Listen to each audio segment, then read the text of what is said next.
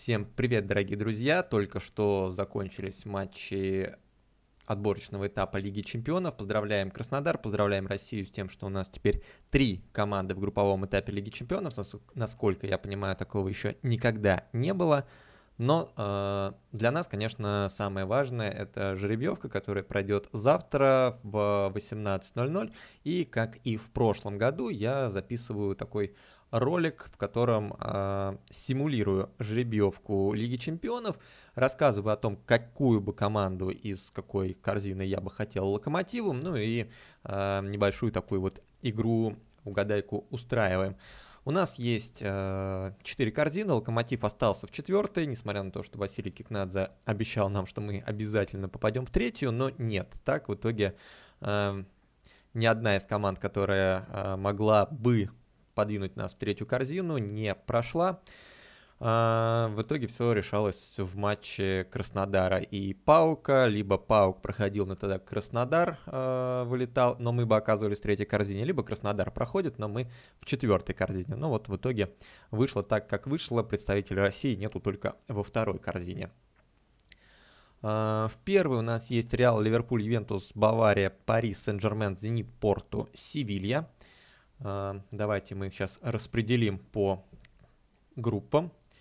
А, Зенит группа G, Ливерпуль группа E, Порту группа C. А, система здесь ровно такая же, как будет в жеребьевке, да, выбирается команда, затем выбирается шарик, только единственная разница в том, что у меня шары не гретые, поэтому я не знаю, кто куда попадает. У меня вышло так, что в группе А Ювентус, группа Б Бавария, группа С Порту, группа Д Реал, группа Е Ливерпуль, группа F Севилья, в группу G мы попасть не можем, в группе H Пари Сен-Жермен. Понятное дело, да, что здесь, наверное, больше всех выделяется Севилья как победитель Лиги Европы. Конечно, второй раз попасть на Ювентус вообще не хочется. Порту, наверное, сейчас представляет собой достаточно слабый коллектив, слабую команду, ну, тем более Португалия не является э, гегемоном футбольным. Наверное, к Порту можно было бы залететь, если бы не частые игры с э, этим клубом поднадоело. Реал Мадрид, понятное дело, жестко, Ливерпуль еще жестче, э, Пари Сен-Жермен, думаю, что тоже не про нашу честь. Поэтому, ну, если вот э, считать из э, таких вот команд, которые по силам Локомотиву пободаться, то это Севилья и Порту. Порту, опять же, ну, наверное, в этом году смотреть на евровыезда вообще не стоит, по крайней мере, многие страны уже стали границы закрывать опять. Наверное, с точки зрения евро выезда выбирать нет большого смысла, но если бы выбирали, то, конечно, здесь Севилью я бы с удовольствием посетил. Вообще очень хочется э, в Испанию еще съездить. Там тепло, там красиво. Севилья тоже достаточно интересное место. С удовольствием бы там побывал. Давайте отжеребим вторую корзину. Мы в четвертой, поэтому вплоть до третьей корзины можем спокойно жеребить и потом уже выбирать, куда бы хотелось попасть, куда нет. Но всему свое время. Итак, у нас группа А, Ювентус, Атлетика, что-то напоминает, да, я помню такую группу в прошлом году, и туда совсем не хочется. Бавария, Шахтер, с Шахтером нас разведут, поэтому группа Б и Бавария сразу минус.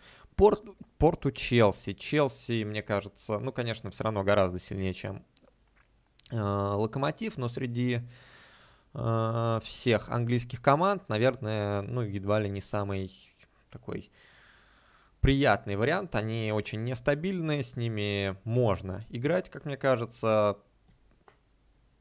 Вряд ли, конечно, с положительным успехом, но тем не менее э, среди всех английских команд, наверное, Челси бы я больше других хотел. Вот, например, в группу D к Реалу и Ман-Сити попадаться вообще не хочется, хотя Ман-Сити может вылететь Лестеру, но когда он встретится с командой уровня Локомотива, скорее всего, камня на камне не оставят. Ливерпуль-Барселона тоже, да, группа не та, в которую хотелось бы видеть Локомотив. Вот Севилья, Манчестер Юнайтед, понятно, да, что у Манчестера тоже есть громаднейшие проблемы. И Севилья, пока группа F выглядит как то, куда очень бы хотелось попасть. Зенит АИ вытягивает себе Аякс в соперники из второй корзины, и даже в компьютерной игре Газпром, даже в компьютерной симуляции жеребьевки Газпром подсовывает Зениту самые простые варианты. Аякс это худшая команда второй корзины. Ну и в группе H Пари Сен-Жермен, Боруссия, Дортмунд. Э, Дортмунд э, снова на коне. Там есть замечательный Холланд, есть замечательные другие молодые ребята. Э, Поэтому тоже, тоже группа смерти. Но вообще вот у меня несколько групп смерти уже набралось. Это Ювентус Атлетика, Реал Ман Сити, Пари Сен-Жермен, Дортмунд, Ливерпуль, Барселона. Вот в эти А, Е, Д, H попадаться не хочется. В группы Б и G мы попасть не можем, потому что разведут. Остается С и F. Вот в эти две группы, наверное, Локомотив бы хотел бы видеть.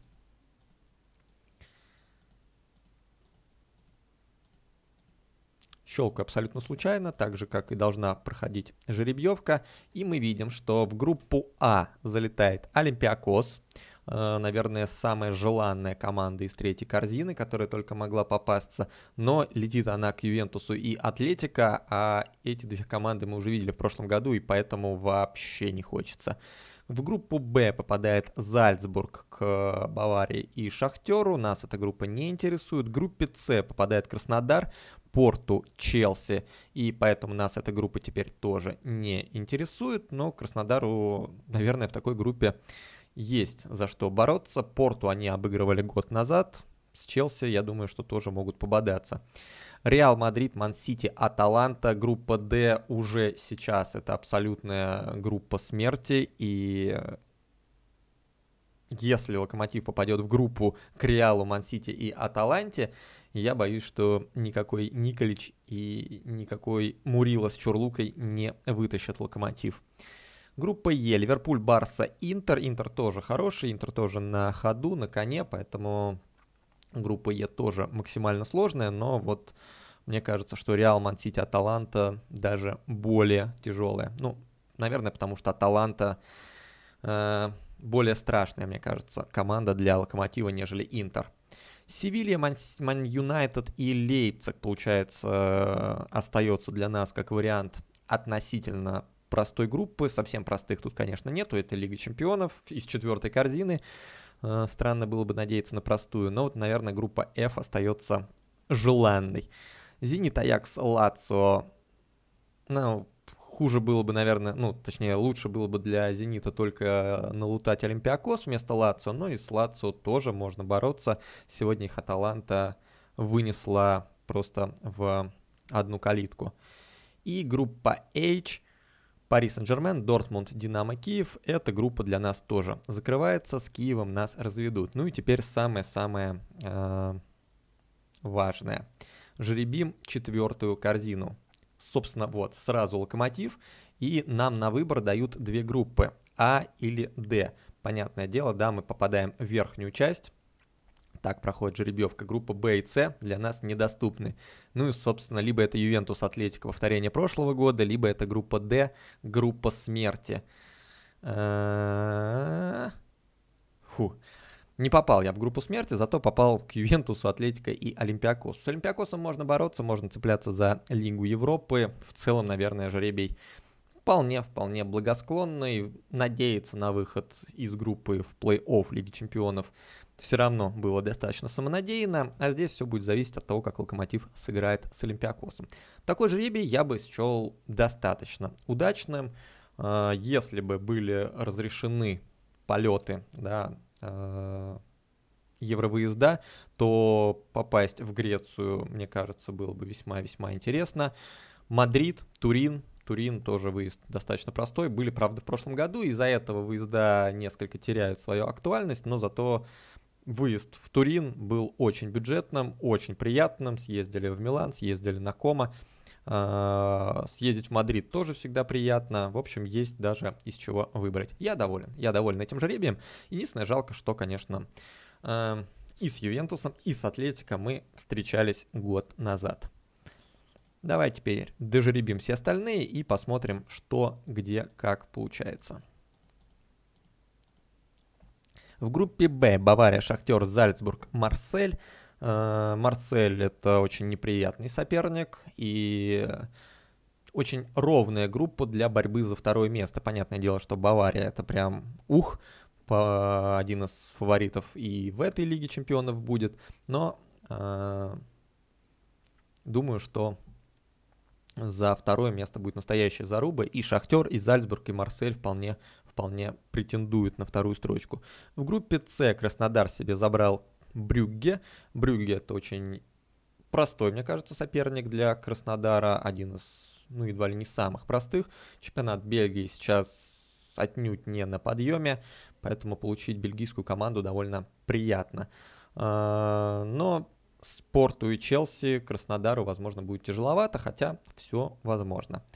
Реал, Ман-Сити, Аталанта и Менхен-Гладбах по-прежнему группа смерти. Менхен-Гладбах не грант, но все равно э, крепкая, солидная команда, которая всем доставит э, проблем. В группе Е к Ливерпулю, Барселоне, Интеру попадает Рен, и мне кажется, что ну, это легкая добыча для всех трех команд. Севилья, Ман, Юнайтед, Лепциг, Басак, Сихир тоже, понятное дело, есть три фаворита и один аутсайдер. Зенит, Аякс, Лацо, Митьюланд. Ну, здесь Зенит теоретически может выйти даже с первого места в этой группе. Везет, везет, везет питерцам, но э, первая корзина всегда дает такие преимущества. Пари Сен-Жермен, Дортмунд, Динамо, Ференц Варыш. Динамо и Ференц Варыш в одной корзине. Динамо против Сергея Реброва. На это бы я даже посмотрел и отнюдь не думаю, что Динамо будет просто в этом матче. В общем, я оставлю ссылку в описании на этот сайт можете тоже пожеребить, порассказывайте, в какую корзину попал локомотив, и можете еще порассказывать, в какую корзину вы хотели бы, чтобы попал локомотив, исходя из... Э, в какую группу, чтобы попал локомотив, исходя из корзин, которые получились согласно этим э, квалификациям в Лигу Чемпионов. Так что... Так что... Всем спасибо и пока.